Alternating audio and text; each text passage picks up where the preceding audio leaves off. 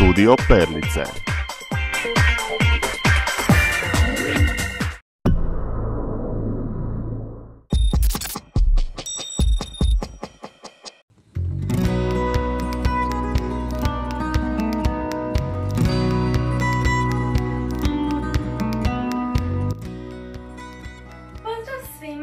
Ja sam Laura Bedrica i imam 12 godina.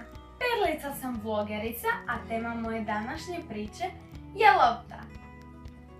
To mi je bila omiljena igračka u djetinstvu jer sam uz nju uvijek bila u pokretu.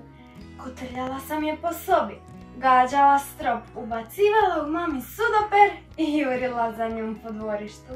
Moju prijateljicu loptu uvijek sam nosila ispod ruke i odlazila u šetnju. Jednom sam prilikom bila u šumi, bacila loptu visoko i ostala u čudu. Lopta se zaustavila među granama jednog velikog bora. Uzalud sam se pokušavala popeti, gađala je kamenčićima, ali bez uspjeha. Onda sam sjela na travu, ljuta na sebe i svoju nepažnju.